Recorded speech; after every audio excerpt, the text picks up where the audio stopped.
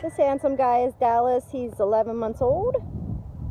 He's an owner surrender, so he will be ready to go anytime. Just owner surrender for too many dogs. Handsome. It's very sweet. He's scared here. I think that that one home is probably his only home so far. We were saying we were going to call him Chicken Little. His tail's come out though, so oh, we even got a tail wag. See, it's all the way tucked in.